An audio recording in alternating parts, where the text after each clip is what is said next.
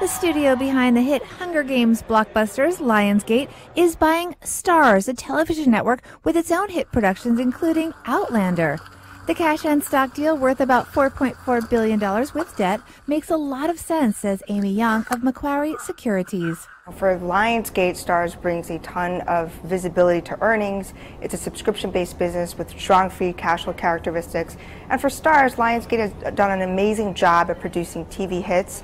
And obviously, they have a huge library of content on the movie side. Lionsgate will pay $32.70 per share for Starz, representing a premium of nearly 16% to Starz' closing price on Wednesday. There was a long courtship. The two companies held on and off talks for more than a year, with Starz playing the field, holding talks with rival suitors, including 21st Century Fox, CBS, and AMC networks. But ultimately, it is walking down the aisle with Lionsgate.